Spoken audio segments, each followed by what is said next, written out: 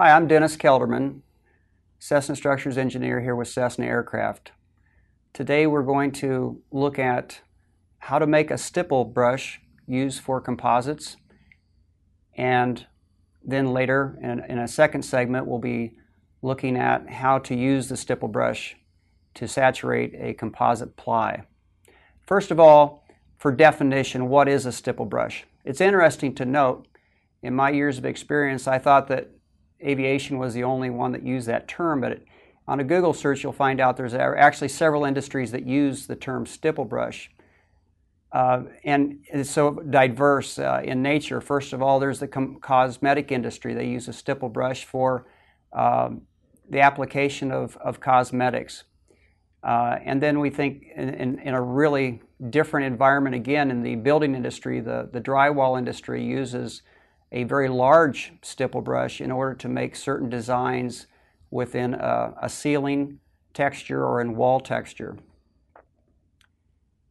The idea behind all these uh, different applications is that the, the brush is never pulled or pushed like a common brush, but instead the brush is used in every one of the applications with a, a tapping motion or driving the the bristles of the brush directly into uh, the object for its uh, desired effect. So today what we're going to do is use a common, everyday brush that is uh, what we would call a china brush or a natural brush. And it has uh, hog hair bristles. And the reason we're wanting to go with that type of a bristle is they'll, they'll not be affected by the uh, uh, the adhesives and such used in the uh, aviation industry for composites. And the, the handle on this typical natural or china brush is wooden, so it's also not affected by uh, the environment that we're going to be placing it into. Otherwise, uh, it's very well possible that the, the handle would be part of your repair as it's going to melt. Um, the next step that we're going to uh, look at is, is cutting the bristles.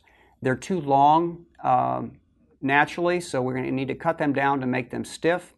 And the first thing that we're going to want to do is take some right off the shelf super glue and uh, adhere the bristles in the brush at the base.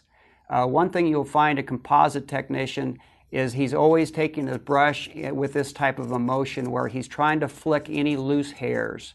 The reason we're gluing them is for the same reason, is because it's very uh, upsetting to the composite technician as, as he's uh, laying out a repair only to find bristles in his repair, and that's something he doesn't want. So that's why we're going to glue them. Now, I actually glued this one previous uh, to our filming today, but basically what we do is we just take super glue, and I'll just uh, simulate this. We go right around the base of the brush applying a layer, a nice generous layer of super glue all the way around. And then we'll stand that in the corner and say in five minutes or so, we'll come back and uh, once it's good and dry, tack free, then we'll go ahead and, and cut the bristles, which we will do right now.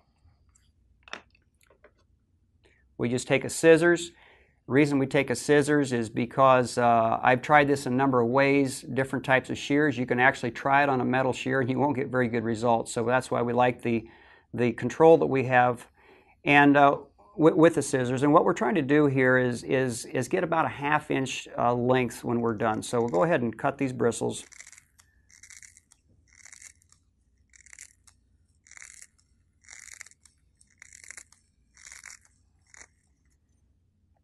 Usually it takes a couple swipes to get everything nice and square.